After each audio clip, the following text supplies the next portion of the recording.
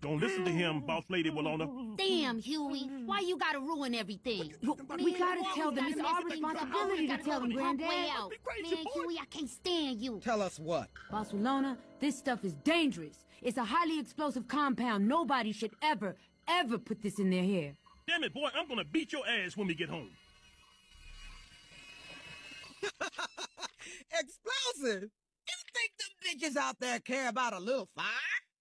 This here will turn your brain green. This stuff has plutonium. This one here is acid. Just acid. Don't you get it? These bitches would put napalm on their hair if it would make it straight. Put a warning label on it.